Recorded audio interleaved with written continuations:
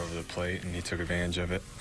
Um, I thought the the 1-0 pitch was pretty close. Didn't get the call, um, and then just missed my spot a little bit up in the zone to Gardner.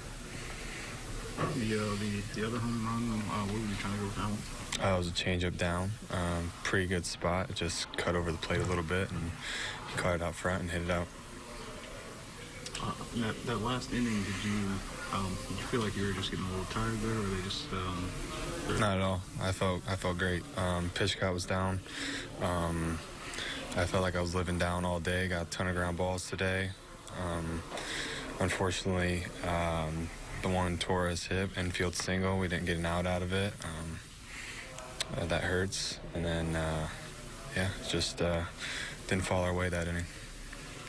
Uh, Ned was saying thought your slider was maybe as good, um, better than some of the other outings. Did you see the same thing or feel the same way?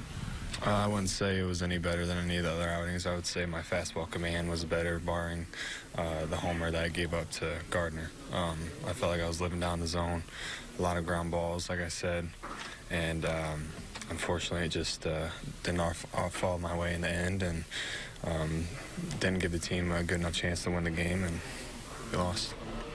Jake, uh, hindsight's 2020, obviously, but to pitch to Gardner, the selection on that, you felt good about that, the the 2-0 fastball.